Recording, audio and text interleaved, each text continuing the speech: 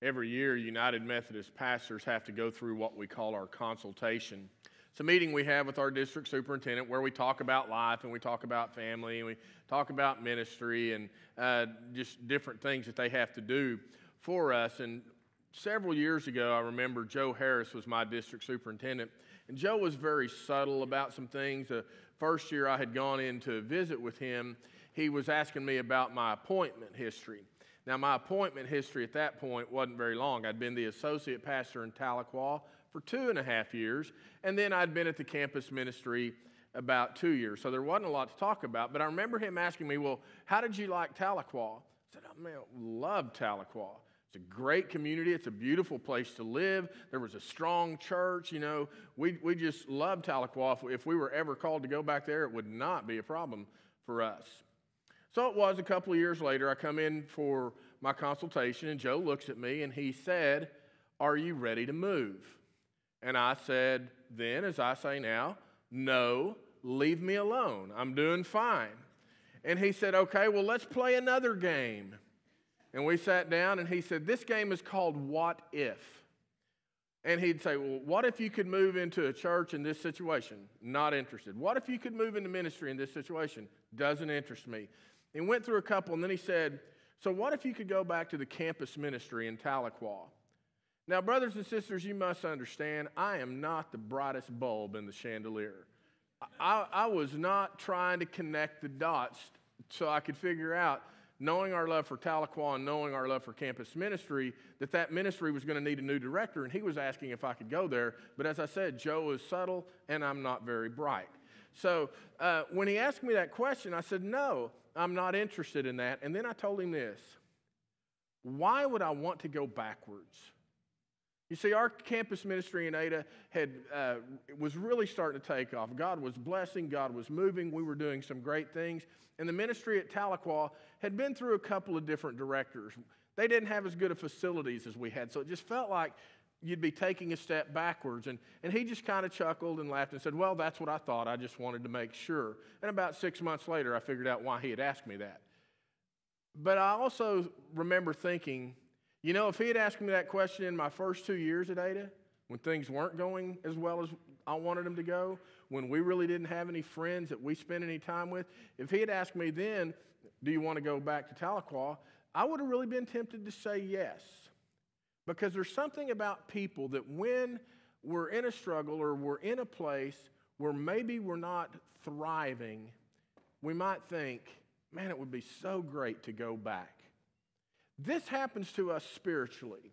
Now, for those of you that are new or those of you that have never heard me say this, let me just say I clearly believe that all people, whether you know it or not, all people are on a spiritual journey. That when we choose to follow Jesus, that we, Jesus will take us to places we didn't think we would go, and sometimes those places are good, and sometimes those places are hard.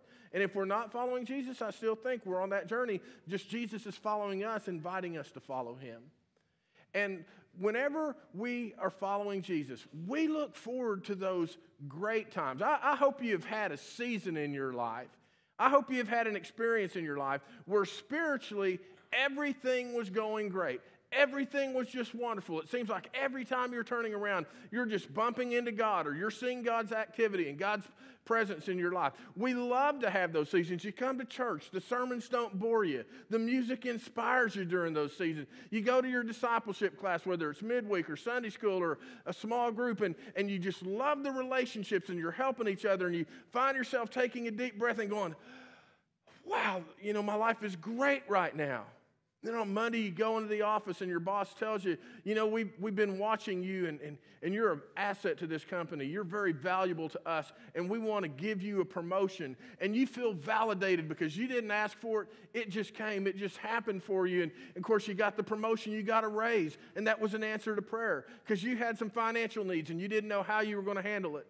Maybe it was a car repair bill. Maybe it was a house repair. Maybe you had tuition to pay for a college student. But you just you saw a blessing of God that God was providing for you. Brothers and sisters, you are riding the crest of the blessing wave. And that's a great place to be. But we know one thing about waves. Pretty soon, the wave is going to end up on the shore. You're not going to stay on the crest of that wave. Sooner or later, you're going to come down. And maybe you don't know exactly when because it's a gradual thing, but other times waves don't just settle in. Waves do what?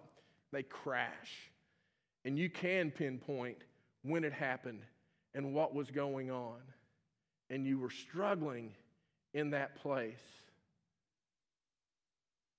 It would be great to ride the crest of the wave, but when we don't, it's pretty typical if we find ourselves thinking, if I could just go back to that place, if I could just go back to that time, if I could just ride that wave once more, I would want to do it.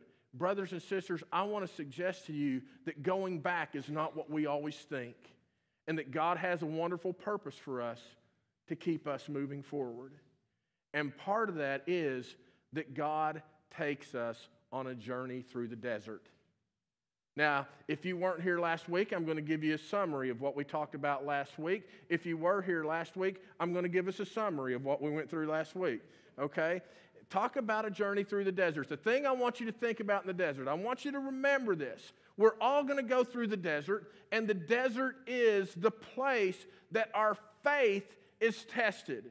It is the proving ground that we show how strong our faith is. You don't prove how strong your faith is when you're on the crest of the wave. You prove how strong your faith is when that wave comes crashing down and you're in a different place.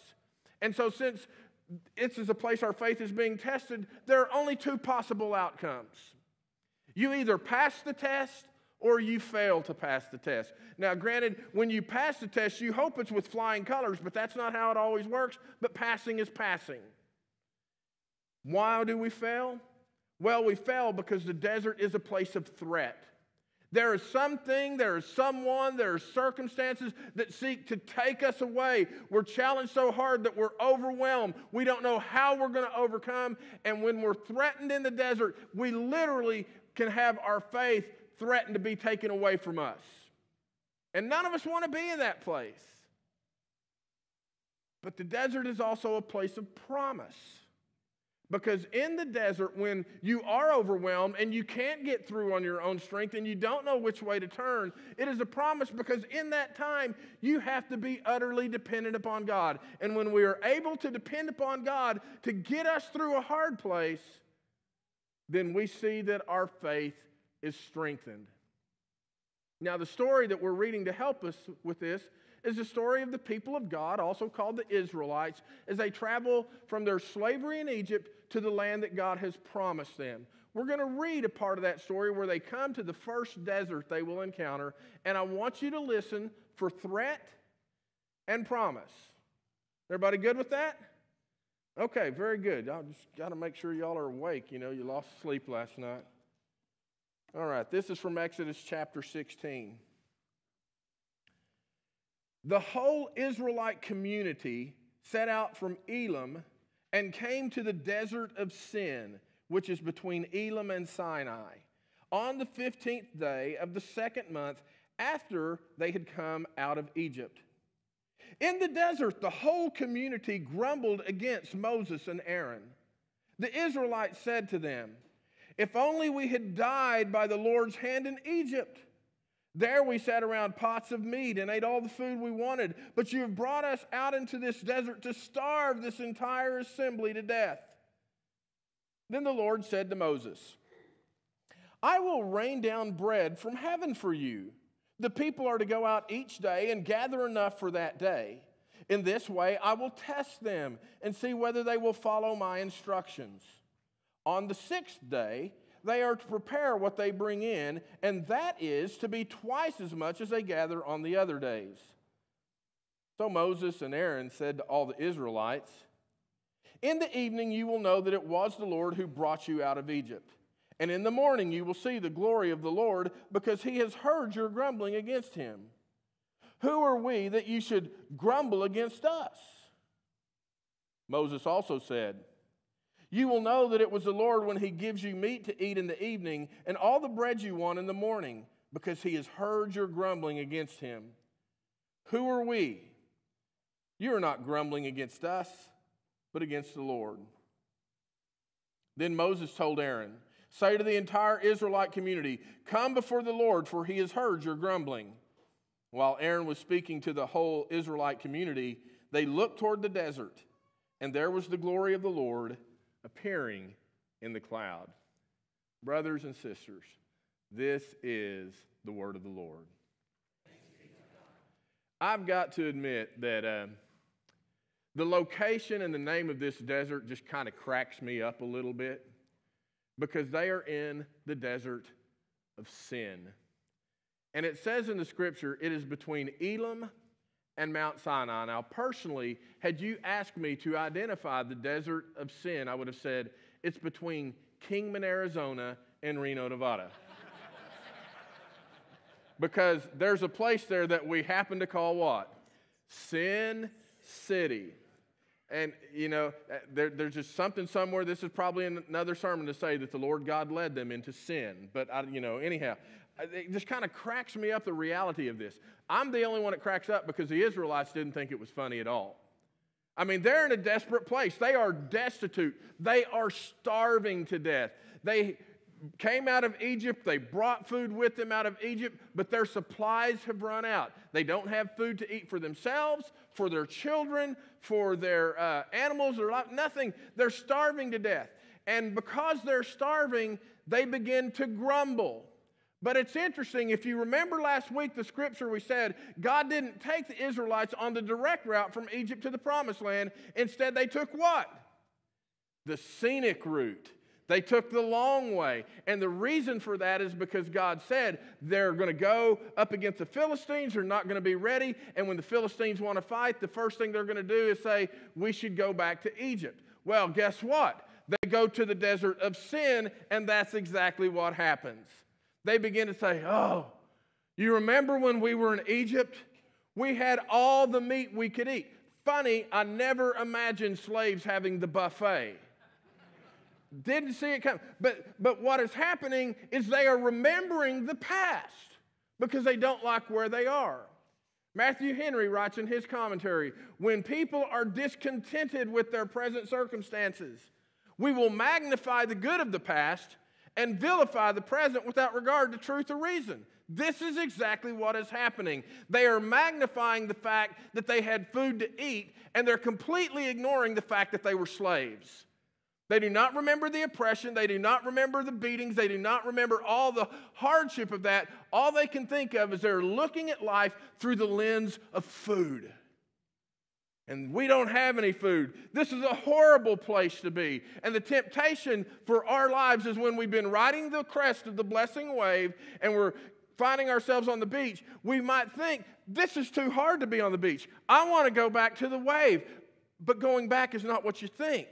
Because somehow, even if you catch your breath, even if you regroup when you do that, to get where God's going to take you, where do you have to go? Right back to that hard place, right back through the desert and that's what these people are struggling with. They're grumbling, and it's not just the grumbling in their stomachs because they're hungry, it is their attitude. They're complaining, they're unhappy. And the, what they do, in my opinion, is very predictable. Look at verse 2. It says, They grumbled against Moses and Aaron. When things are hard, what do we do? We blame somebody.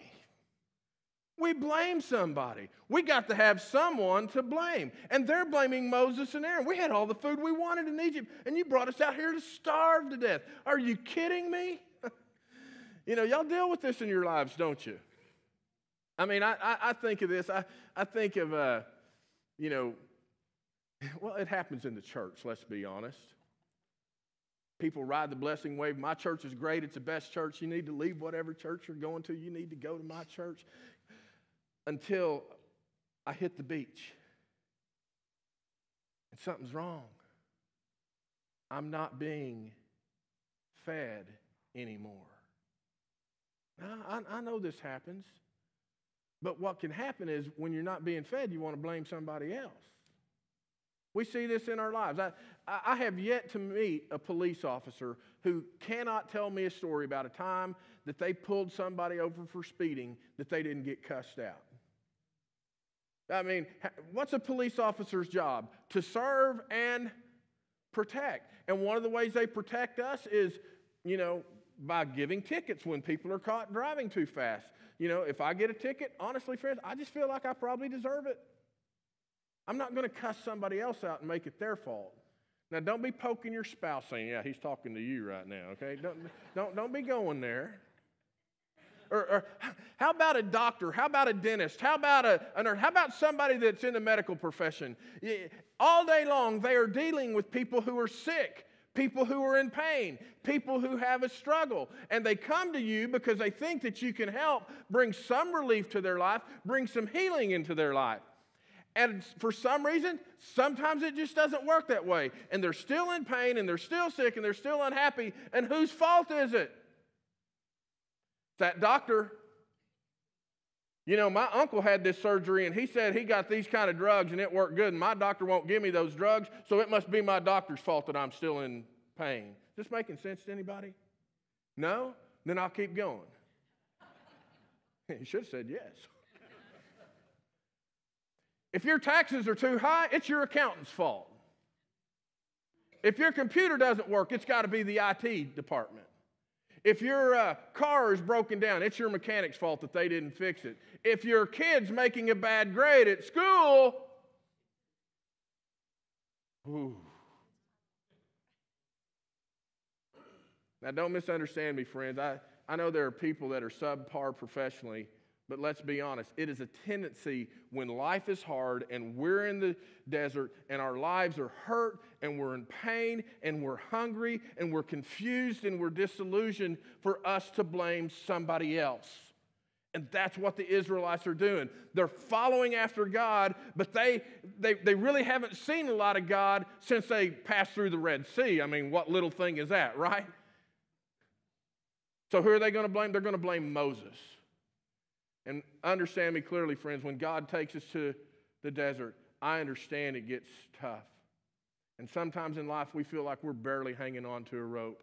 And I would say, brothers and sisters, when you're hanging on to the end of your rope, thank God for the knot that He put there. Because sin that we have will seek to sap us of all the faith that we can muster, and it will seek to disconnect us from God who gives us strength and holds forth the promise. The desert is not just a place of threat. It is a place of promise. When your life is hard, when you're grumbling, when you're confused, when you're broken, when you're hurting, hang on.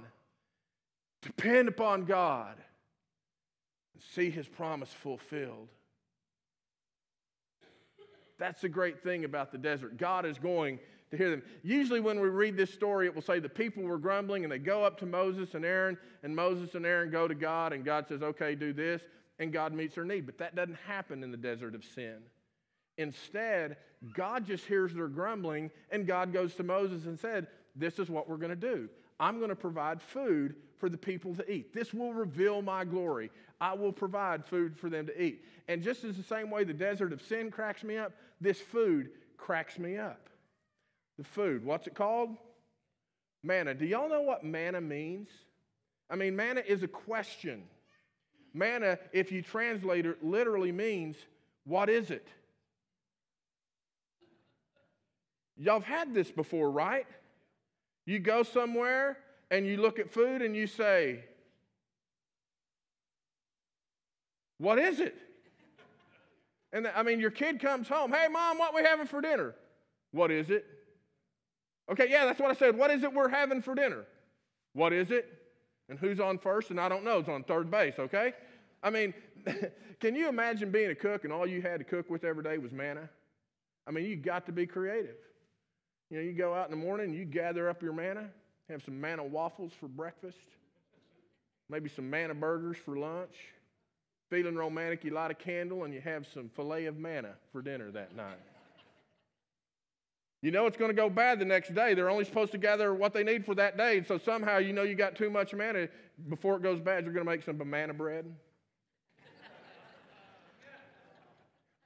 I got more groans and laughs in the last service, just so y'all know. I mean, I haven't even talked about, you know, uh, or chicken fried manna yet. What I do know about manna is manna is vegan and 100% gluten free. Somebody told me right before I came in here, you might also want people to know that it's organic and it makes a great casserole. I mean, how many times have you looked at a bunch of stuff in a pan and you said, What is it? What God is teaching them through the provision of this manna is actually more than what we might understand. Because the direction given is you only get as much as you need for that day. And the first time it happened, people didn't trust God. We can read the rest of the story. They didn't trust God, and so they gathered more than what they needed. And the next morning, when they got up, they weren't asking, What is it? They were saying, Whoo, what is that smell? Because it said that the manna rotted and it was filled with maggots. Now, I know that's gross right before lunch, but that's what the Bible tells us about this. Except to the sixth day.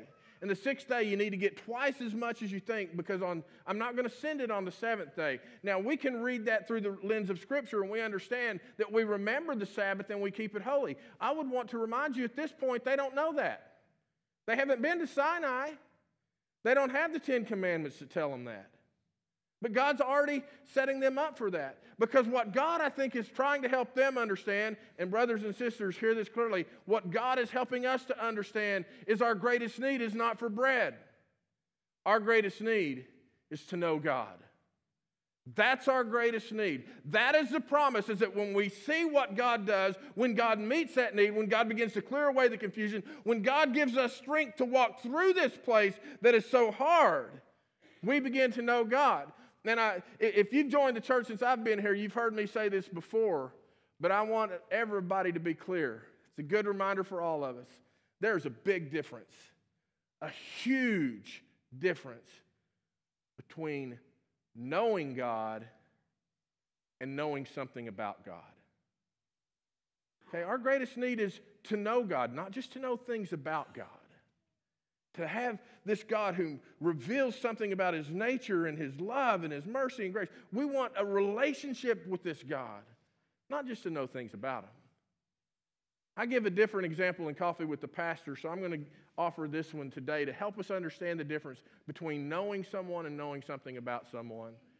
If, if you walk into my office, it will not take you long to figure out that I'm a baseball fan. And I'm not just a baseball fan, I'm a fan of the 1970s Cincinnati Reds, otherwise known as the Big Red Machine. I can give you batting order, I can give you positions in the lineup, I could bore you to death with that stuff. But for this moment, all I want you to know is who my favorite player is. And my favorite player is? See, I have taught this congregation well. Johnny Bench is my favorite player. You'll see his autographed jersey hanging in my office. I know things about Johnny Bench that some people don't know. For example, if I were to ask you where Johnny Bench is from, most of you would say Binger, Oklahoma, but did you know where he was born? Yeah, come on, Western Oklahoma, Caddo County people, bring it on. he was born in Oklahoma City, I believe at St. Anthony's Hospital. His first wife's name was Vic, Vicky. His second wife is from South Africa. He was the first ballot Hall of Famer. If you were if you're a catcher, you are compared to the Johnny Bench standard. But did you know at the end of his career he did not play catcher? He played either third base or first base. He played on the corners. Several years ago, I was looking on a website that talked about what somebody's real name is, like, you know, John Wayne or Lady Gaga, you know, what somebody's real name is. And when I'm looking through the list, it said Johnny Bench's name was Johnny Lee. And I wrote the guy on the website, I said, let me help you by correcting your misinformation. Lee is his middle name. His name is Johnny Lee Bench. And the guy said, Well, let me check that out. He checked it out. He said, You're right. And he changed his website because everything you read on the internet is true. okay? I, I, I know things about Johnny Bench. I learned one after the last service. Somebody came up and told me that Johnny Bench's son's name is Binger. Didn't know that. Doesn't surprise me I didn't know that because I don't know Johnny Bench. I don't know where he lives. I don't know what kind of car he drives. I don't know what makes him happy. I don't know what makes him angry. I don't know what makes him sad. I don't know what he likes to eat. I just know things about him. Yeah, I met him once. I shook his hand. I got his autograph. That's it. Friends, God does not want us just to know things about him. God wants us to know him.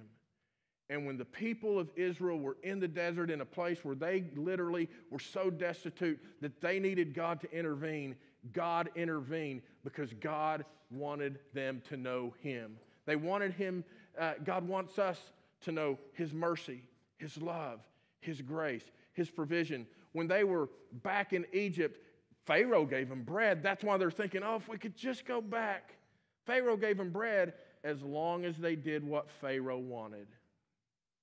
But God provides this bread of heaven as a gift of grace that keeps us moving forward, even in the desert of our sin. Sin which seeks to separate us from God. Sin which seeks to take us out of His hand. Sin that we're confronted with when we're following after God, and bang, the blessing wave has landed on the shore, and we're here, and God wants us to go through this, and we don't want to go through this, and we're confused, and we're hurt, and our faith is being tested, and we will vilify this situation and magnify the past. If that's you, friends, don't feel bad about that. There just seems to be something common in our experience as humans about how we will do that and how we will want to blame somebody else for our own misery. But the great thing about God is God seeks to call us by name. I mean, yes, God calls all people. We say that in church. God is calling all of us, but God calls all of us by name. He knows who we are, He knows how many hairs we have on our head. And what God truly desires is for us to know Him.